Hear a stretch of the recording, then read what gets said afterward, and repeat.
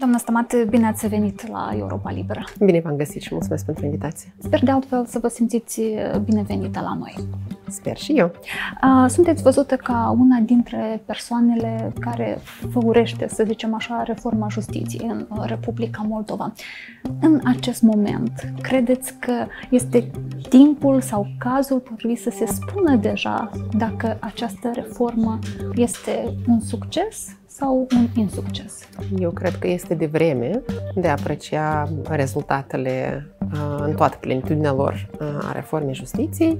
La această etapă, uh, întrebarea pe care trebuie să ne dăm este dacă suntem pe calea corectă, dacă ceea ce am făcut până acum a fost corect și respectiv dacă asta va produce rezultatele pe care le așteptăm de acum într-un an, doi, trei. Haideți să discutăm aceste lucruri pe îndelete. Mulțumesc! Doamna Olesea Stamate, președinta Comisiei Juridice Numiri și Imunități din Parlament și una dintre persoanele despre care se spune că face reforma justiției în Republica Moldova.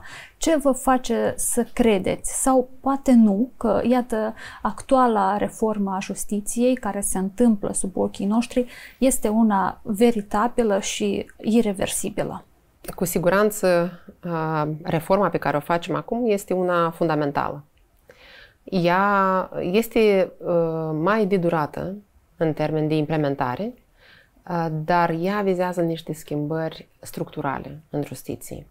Și aici, cred că prima, ca piatră de temelie, este, de fapt, procedura de evaluare extraordinară a judecătorilor și procurorilor, pre-vetting și vetting care urmează, ca și rezultat, să asigure calitatea justiției propriu-zise, deoarece calitatea actului de justiție depinde de cine aplică legile, procurorul, judecătorii care aplică legile.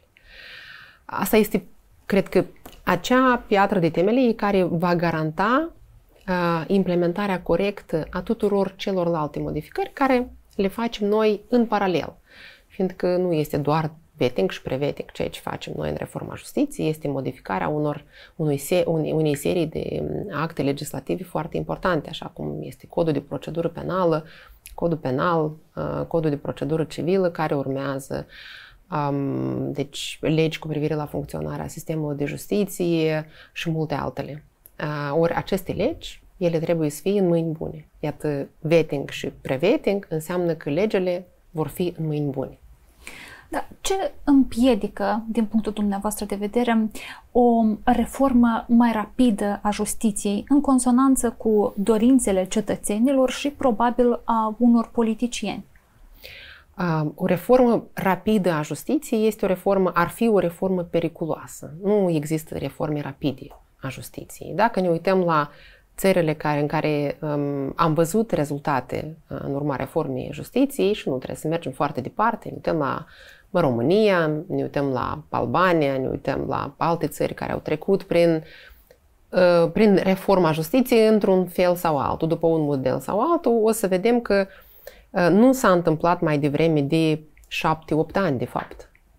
Uh, ceea ce ne propunem noi să facem este să avem rezultate mai rapide decât acele țări și noi am analizat atent experiența acelor țări, astfel încât să putem identifica acele mecanisme care ne permit nouă să scurt-circuităm, să scurtăm anumite uh, procese, dar fără să afectăm calitatea. Asta ar însemna că uh, pe, până la finele mandatului nostru uh, parlamentar să putem să vorbim despre uh, deja rezultate vizibile ale reformei, de, vizibile în sensul uh, cetățeanului, da? Deci ca să ajungă uh, impactul pe care ne dorim noi să uh, ajungă la cetățean. El să poată simți că, uite, într-adevăr s-a schimbat ceva. Deoarece la moment noi deja avem anumite rezultate vizibile. Noi avem un nou CSM care a fost evaluat de către Comisia uh, de Evaluare Extraordinară, care a început să funcționeze deja după noi uh, reguli și noi principii, care va face evaluarea judecătorilor, celor care nu vor fi supuși uh, vettingului. Dar în sânul guvernării există o idee unitară despre cum trebuie să fie făcută această reformă a justiției sau există și anumite divergențe? Există o idee unitară despre unde vrem să ajungem. Dar nu despre cum faceți lucrurile. Cum facem se discută de fiecare dată. Ultimul exemplu sau cel mai recent exemplu, Curtea Anticorupție. Au fost păreri diferite și în interiorul echipei noastre vis-a-vis de faptul dacă avem nevoie de instanța anticorupție sau dacă putem să mergem pe varianta unor complete specializate anticorupție în instanțele de, de drept comune sau în general nu este nevoie de nimic. Dumneavoastră ați răbufnit, practic, aș putea spune la un moment dat, nemulțumită de ceea ce credeți că, sau credeți încă, că împiedică, iată, reformele veritabile în justiție. Și o să vreau să vă citesc doar că am impresia că o mână de oameni onești luptă cu morile de vânt în țara asta. Mai păstrați acest sentiment? Uh, în principiu, uh, aproape tot acolo suntem, uh, în sensul în care există încă suficientă rezistență din interiorul sistemului pentru reformele pe care le implementăm. Însă, uh, lucrurile s-au schimbat un pic între timp. Deoarece am văzut în primăvară uh, intenția sau încercarea judecătorilor de a periclita implementarea pre-vettingului și vettingului prin uh, amânarea adunării generale sau suspendarea, cum au numit-o ei, a judecătorilor. Până la urmă, deci adunarea a fost desfășurată, membrii CSM au fost aleși. Deci, eu cred că anumite um, evenimente au făcut, uh, sau cel puțin le-au um, arătat și celor din justiție că aceste lucruri, da, le poți amâna un pic le mai poți tergiversa cu anumite, iată, și cele 21 de decizii ale Curții Supreme de Justiție. Deci poți întinde timpul, dar, e, dar nu le poți opri. Și atunci, da, eu nu exclud că ei vor mai face tentative de a tergiversa sau de a amâna implementarea acestei reforme, dar ei nu o vor putea opri. Există multe persoane nemulțumite de felul în care se face această reformă, poate din simplul motiv că ei vor fi scoși cumva de pe carosabil, dacă aș putea să zic așa, după cariere îndelungate pe care le au în sistem.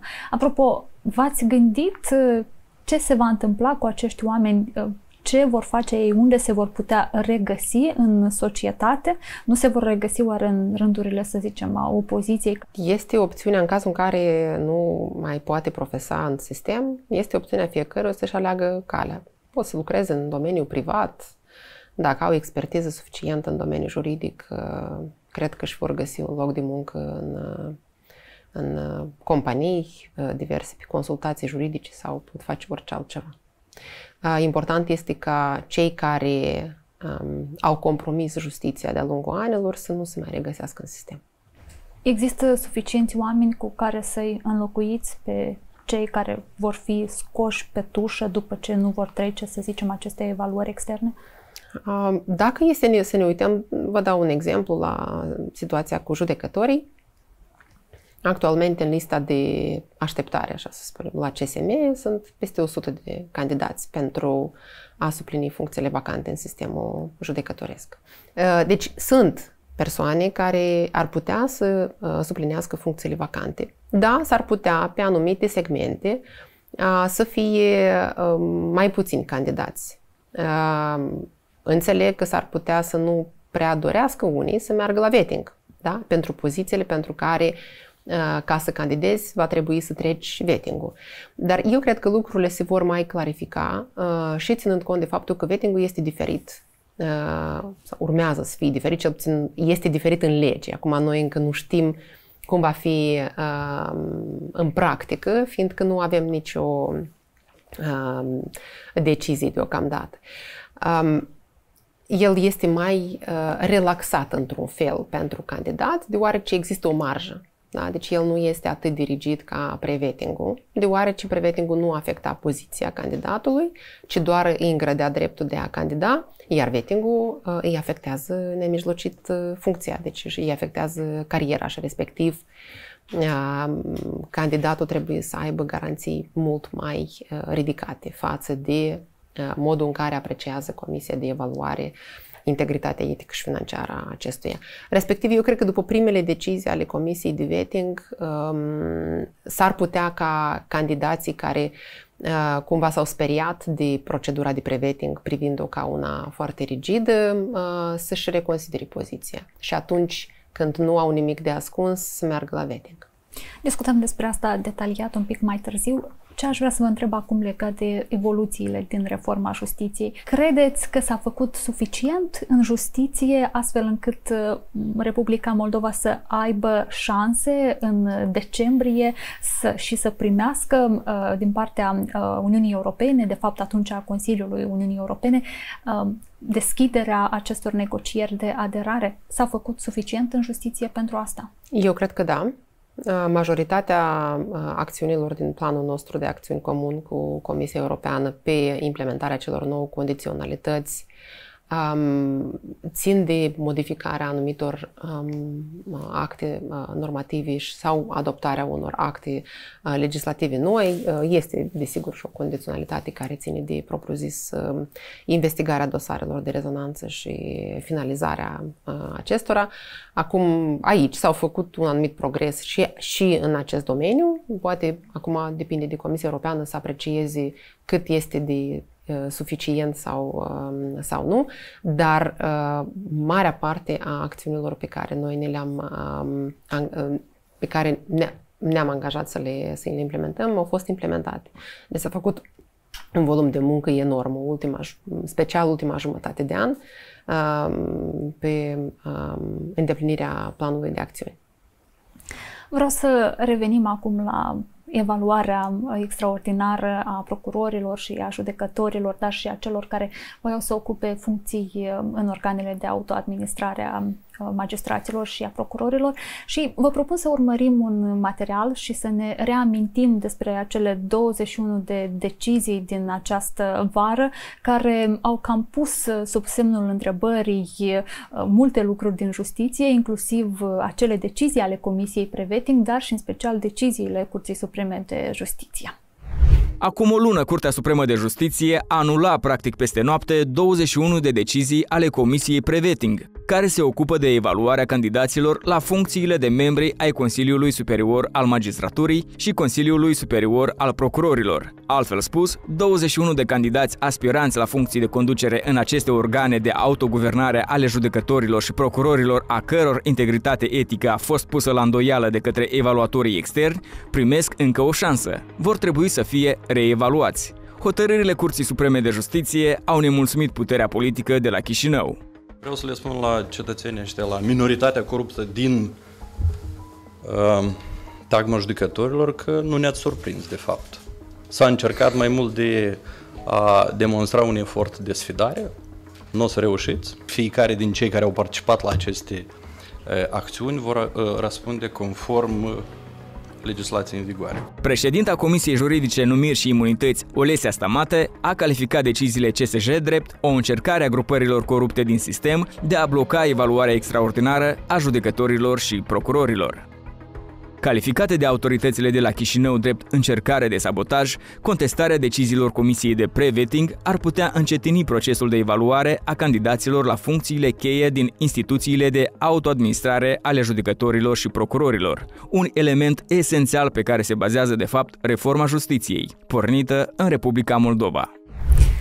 Domnul Stamateamu, curiozitate aproape aș putea să spun. Cine este această minoritate coruptă din sistem la care vă referiți și dumneavoastră și premierul Recean? Sunt judecătorii, uh, dar și procurorii, acum dacă discutăm despre decizii, da? dar uh, că în general vorbim despre sistemul justiției, judecătorii și procurorii care au admis uh, abuzuri pe parcursul ultimului, ultimul, ultimii perioade de timp, ultimilor ani să zicem așa, care um, sunt responsabili pentru mai multe um, acțiuni um, care ridică dubii serioase de legalitate, um, acțiuni, acțiunile lor în calitate de judecător sau procuror. Da, revenind totuși la anularea deciziilor uh, Comisiei Preveting, aș vrea să înțelegem ce se întâmplă acum cu acești candidați care practic au mai primit o șansă la reevaluare. A început această reevaluare. Cum are loc procesul până la urmă?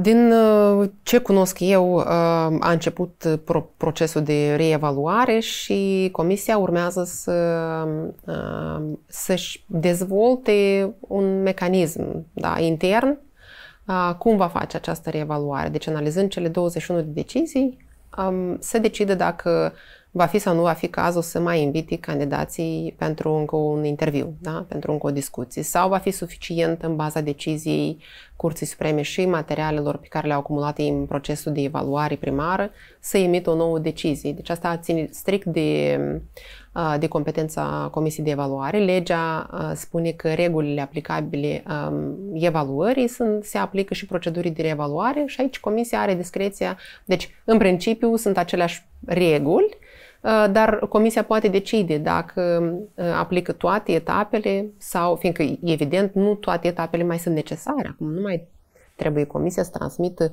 o solicitare de depunere a declarației candidatului. Da? Deci cumva astea, etapele au fost epuizate în cadrul evaluării primare.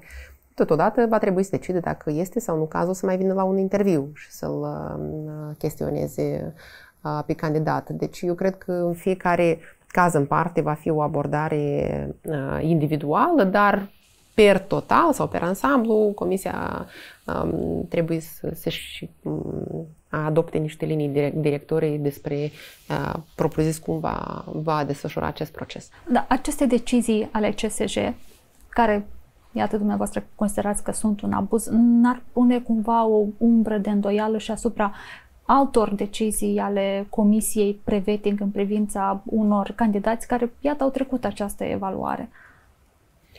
A, dar nu, au, nu are nicio relație. Nu, nu, nu este, din punctul meu de vedere, ă, ce așa ca un efect colateral al faptului că Curtea Supremă de Justiție a procedat în modul în care a procedat, adoptând toate 21 de decizii la pachet și anulând toate cele 21 de decizii ale Comisiei de Preveting, cumva i-a pus potențial într-o situație problematică pe acei candidați care, care poate chiar meritau sau merită o evalu- reevaluare, să zicem. Deci poate chiar reevaluare în contextul schimbării decizii, da? Deci o reevaluare nu cu menținerea aceiași decizii, aceleași decizii, dar cu modificarea deciziei Comisiei de Preveting. Poate sunt situații în care judecătorul a reușit sau procurorul a reușit să uh, prezinte materiale adiționale, informații adiționale, probe și așa mai departe la Curtea Supremă de Justiție și atunci, într-adevăr, uite că ar putea fi schimbată decizia. Din păcate, când le ai pe toate la pachet, ți se creează impresia, așa ca și cetățean simplu sau jurist care a citit cele 21 de decizii, ți se creează impresia că uh, toate sunt uh, emise la pachet cu un anumit scop în multe dintre ele vezi pasaje copy-paste din una în alta și cumva nu te mai întreb, dar este vreo decizie care într-adevăr, uite, merită să fie re, re, reevaluată și respectiv luată o altă decizie? Parlamentul a votat practic la sfârșitul sesiunii trecute și regulamentul sau legea, de fapt, care o să prevadă evaluarea externă a judecătorilor și procurorilor. Domnul Stamate, aveți, să zicem, o idee când va putea să înceapă această evaluare externă a judecătorilor și procurorilor? De această evaluare extraordinară a judecătorilor și procurorilor se vor ocupa două comisii de evaluare. Deci, o comisie care va face evaluarea judecătorilor și alte comisii care va face evaluarea procurorilor. Comisia care va face evaluarea judecătorilor este comisia care a început să facă evaluarea judecătorilor la CSJ și a candidaților la funcția de judecător CSJ. Deci, odată ce finalizează evaluarea judecătorilor CSJ, ei vor continua mai departe cu evaluarea celorlalți judecători care sunt înscriși în lista subiecților din legea respectivă, nemijlocit curțile de apel și șefii uh, de instanțe uh, de fond. Pe evaluarea procurorilor urmează a fi creată o nouă comisie, componența cărei urmează a fi aprobată în luna septembrie uh, și va începe imediat cu evaluarea procurorilor din Procuratura Generală și procuraturile specializate, ca ulterior să evalueze și procurorii șefi ai procuraturilor teritoriale. Dacă adoptați sau dacă votați componența acestei comisii în septembrie, asta ar însemna că în octombrie sau mai târziu? Mm, sfârșitul lui octombrie, începutul noiembrie pe aici, fiindcă din momentul în care votăm, aprobăm componența, um, mai ia câteva săptămâni până comisia se întrunește și aprobă regulamentele interne de funcționare. Sigur că acest proces acum este mai rapid decât a fost în prima um, fază, în pre-vetting, deoarece ei au luat-o de la zero. Așteptările sunt ca cel târziu, să zicem așa, începutul lunii noiembrie să înceapă să, uh, să fie evaluați procurorii. Iată, cu acest proces încă neînceput uh, de evaluare extraordinară a procurorilor, am auzit și primele reticențe față de acest lucru și cred că acum o săptămână în acest studio al Europei Libere, um, procurarea șefa anticorupție Veronica Drăgălin spunea că mulți dintre colegii sau subalternii săi ar prefera să plece din sistem decât să meargă în această procedură de vetting, uh, um, spunând că ea ar fi prea dură. Luați în calcul faptul că s-ar putea să vă pomeniți cu un blocaj sau cu o plecare masivă din anumite procuraturi, din procuraturi specializate? Legea vetting prevede o evaluare treptată. Deci, uh, nu tuturor procurorilor din procuratura specializată le se transmite înștiințarea da, sau invitația de a depune declarația, uh, moment din care, în termen de 20 de zile, ei pot să uh, își dea demisia sau să vină la vetting. Deci, un blocaj a instituției ca atare nu ar trebui să se întâmple decât dacă nu vor încerca procurorii din procuratura specializată, oricare ar fi ea, efectiv să saboteze acest proces sau să spunem să facă așa într-o formă de protest, să-și dea demisia în corpore. Eu nu cred că acest lucru se va întâmpla, dar și sper foarte mult că acest lucru nu se va întâmpla, că sunt procurori uh, integri în uh, toate, deci în, peste tot în structura procuraturii uh, și respectiv uh, am vrea să-i vedem să-și continue activitatea în organele procuraturii, au și experiența necesară, au și uh, capacitatea și integritatea să muncească mai departe.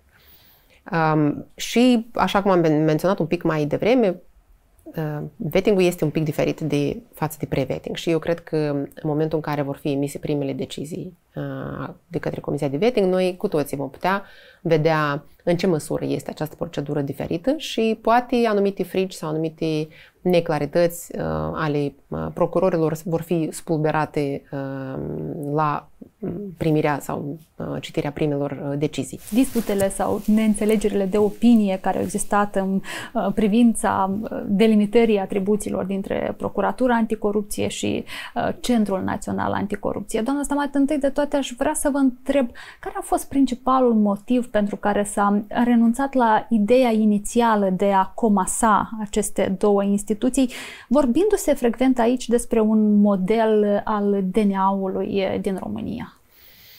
Nu pot fi comasate aceste instituții. De ce? Deoarece CNA este o structură de tip polițienesc. Iar PA este o structură de procuror. Deci ele nu pot fi comasate. Nici DNA-ul nu, este, nu are angajați în funcție ofițeri de investigații sau ofițeri de urmărire penală. Nu poți comasa CNA cu PA uh, de, pentru simplu motiv că ofițerii de investigații și ofițerii de urmărire penală de la CNA nu pot fi angajați direct, deci nu pot fi angajați de către PA. Ei pot fi angajați fie la CNA, fie la poliție, fie în alte structuri care au organ de urmărire penală și care desfășoară activitate de investigații și sunt detașați pe o anumită perioadă de timp la PA. Totuși, această decizie a creat nemulțumiri la Procuratura Anticorupție, care, iată, vă cere adică dumneavoastră Parlamentului Legiuitorilor, ca să ne înțelegem așa, atribuții suplimentare pentru a putea face filaj sau pentru a instala microfoane uh, în cazurile unor suspecți. O să le oferiți aceste atribuții suplimentare prin este, lege? Este exact același subiect. Haideți simplu. Procurorul este cel care veghează, deci el sigur că are multe atribuții conform legislației procesual penale, este uh, persoana care pornește urmărire penală și care urmărește toate etapele de desfășurare a urmăririi penale. Autorizează anumite măsuri, alte măsuri sunt autorizate de judecătorul de instrucții. Deci el, dacă vreți, garantează, verifică și garantează legalitatea măsurilor efectuate de către ofițerul de urmărire penală și ofițerul de investigație. Acum, spuneți-mi dumneavoastră cum poate procurorul să facă interceptări sau alte uh, acțiuni și tot el să le verifice legalitatea. Bun, poate asta e extrem. Nu procurorul face interceptări. Face ofițerul de urmărire penală sau ofițerul de investigații care este, uh, lucrează în același birou cu procurorul. Cum va verifica el legalitatea acelor măsuri? Eu personal nu înțeleg care sunt acele capacități de care mai are nevoie Procuratura Anticorupție. Dacă este vorba de echipament, că vor să aibă propriul echipament de interceptare.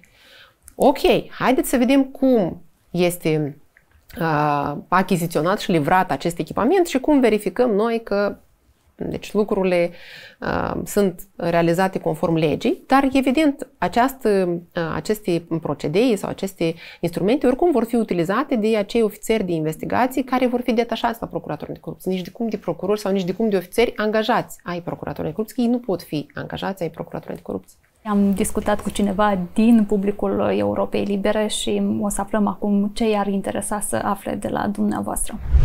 Când avem război în Prag, când avem uh, uh, 4 sau 5 bogătani care au furat uh, banii din Republica Moldova și au fugit și acum îi folosesc acești mijloace financiare pentru a cumpăra voturile. Întrebarea ar fi următoarea. Este vreo lege în Republica Moldova? Dar dacă este, de ce nu este ea uh, implementată? Pe probleme de corupție politică, cumpărarea voturilor și vinderea voturilor. Trebuie să ducă aceeași răspundere, și cel care cumpără și cel care vinde. Domnul Stamate, care este răspunsul dumneavoastră? Noi am făcut mai multe modificări la lege care vizează exact problema expusă de um, domnul um, pe care l-ați, l-ați întrebat, uh, inclusiv modificările ce țin de corupția politică. Bine, mai ține de cumpărarea sau oferirea unor uh, mijloace financiare sau foloase pentru a trece dintr-un partid în altul, dar uh, coruperea electorală este deja în, uh, și în codul electoral și respectiv poate fi investigată de către uh, organele de anchetă.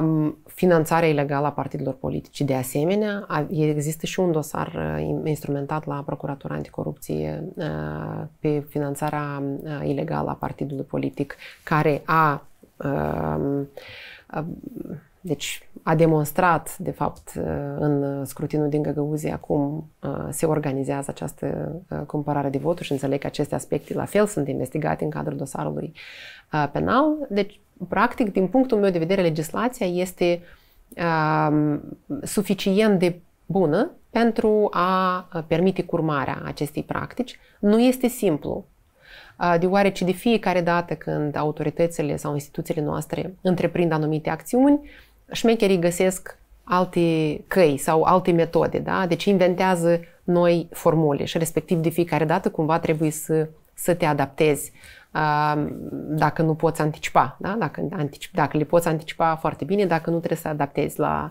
uh, noul scenariu. Așa, respectiv, uh, vrem să vedem și o activitate sporită din partea organelor de anchetă care să fie foarte activi și cu ochii în uh, patru în cadrul scrutinului local, ca să nu admită uh, repetarea scenariului din Găgăuzia. Um, unica ce nu din ce ce a spus domnul nu avem este sancționarea alegătorului pentru acceptarea unor foloase materiale pentru exercitarea votului și asupra acestui aspect avem o discuție în cadrul echipei să vedem în ce măsură este sau nu este. Deci ar fi mai greu din punct de vedere um, al deci urmăririi penale, ar fi mai greu de demonstrat, potențial mai greu de demonstrat că persoana a primit bani pentru a vota pentru cineva sau pentru a-și exercita dreptul la vot într-un anumit mod. Da. Și tu poți să zic că da, am primit o pomană. Și pomenele sunt interzise și nici măcar nu e electorală, dar nu are sigl, nu are nimic. Acum tu trebuie să demonstrezi fie că ai făcut anumite măsuri speciale de investigație și cumva ai reușit să aduni suficient de probe că persoana care a oferit banii a mai oferit și la alții, da, cu un anumit scop, dar până la urmă finalul este realizarea uh, dreptului la vot și faptul că a pus ștampila pentru un partid sau altul. Deci e un pic mai complicat. Dialogul nostru a ajuns la final și vă mulțumesc pentru această discuție. Cu drag. Alte interviuri le puteți găsi pe uh, pagina Europei Libere, moldova.europalibera.org, dar și pe pagina noastră de YouTube. Încercăm să găsim răspunsuri la întrebările care contează pentru dumneavoastră.